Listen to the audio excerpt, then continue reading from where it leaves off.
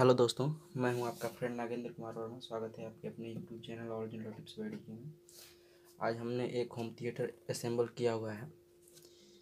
इसे कहीं देना है जो बहुत ख़ास है हमारे लिए।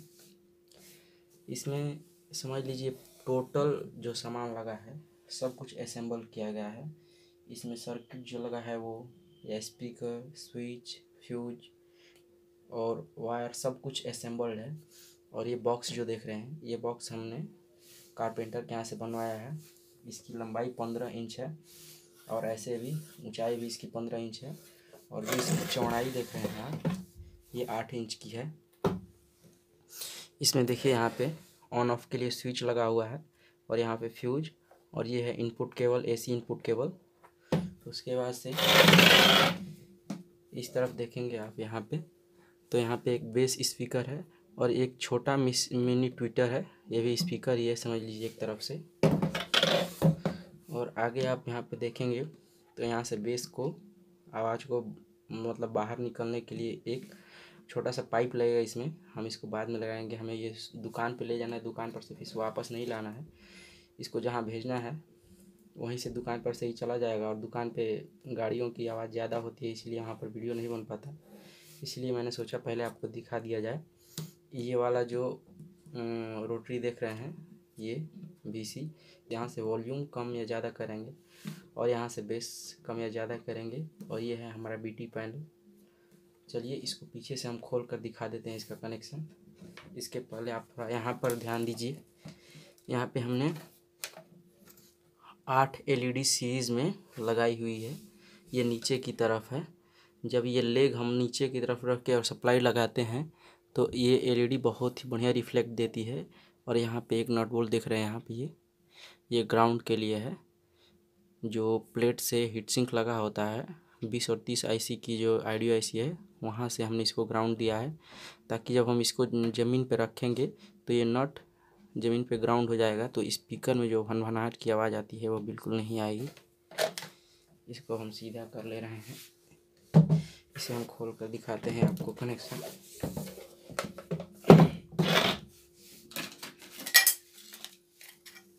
उसके पहले इस पीसीबी को आप देख लीजिए। ये पीसीबी हमने ऑनलाइन मंगवाया था। यहाँ पे सैंतालीस सौ यू एफ़ और पच्चीस वोल्ट का कैपेसिटर लगा हुआ है। यहाँ चौवन ज़ीरो आठ के चार डायोड लगे हुए हैं और यहाँ पे ये तीन कनेक्टर आपको दिख रहे हैं।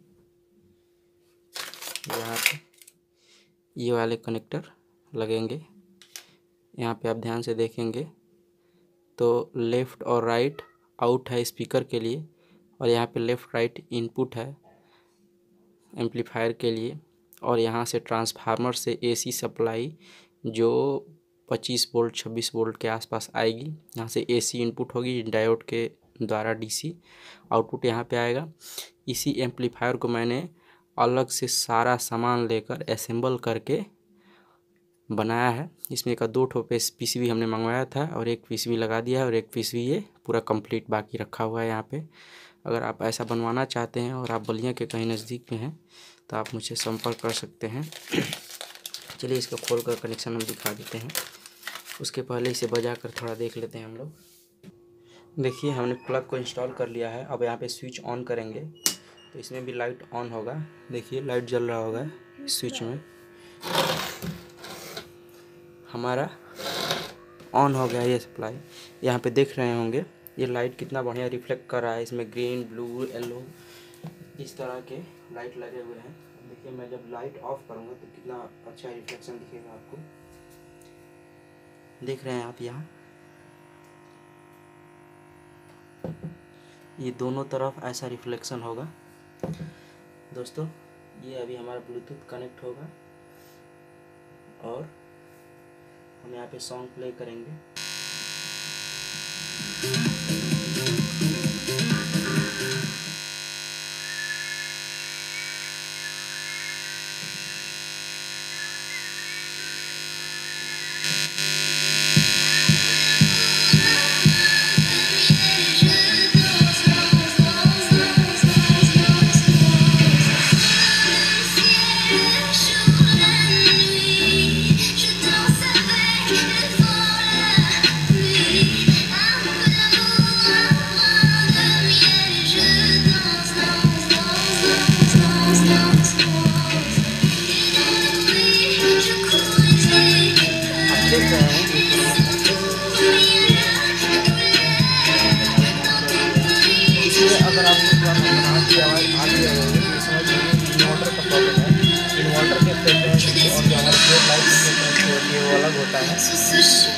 थोड़ा सा मनमनाहट की आवाज़ आ रही है। देख रहे हैं कितना सॉन्ग प्ले हो। रहा है और ये लाइट आप देख रहे हैं। आपको दिख रहा होगा ये। दोस्तों, अगर हमारा ये वीडियो पसंद आया तो वीडियो को लाइक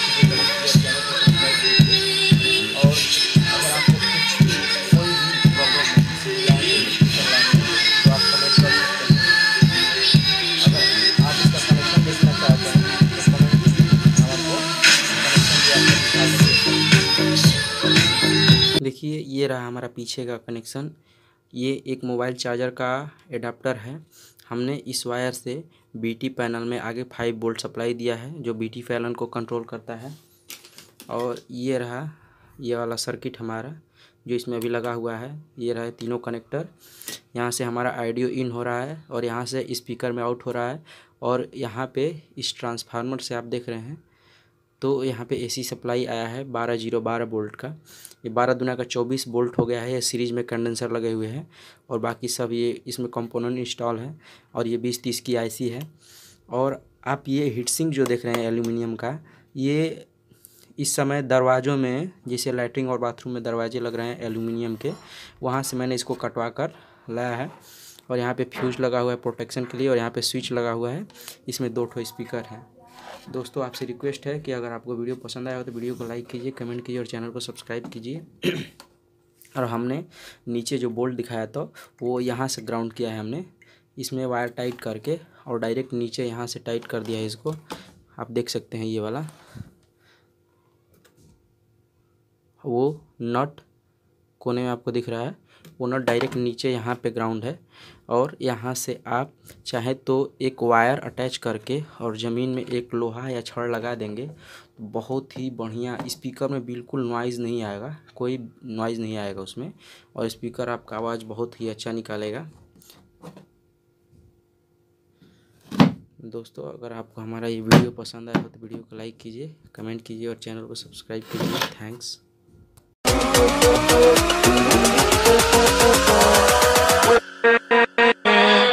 with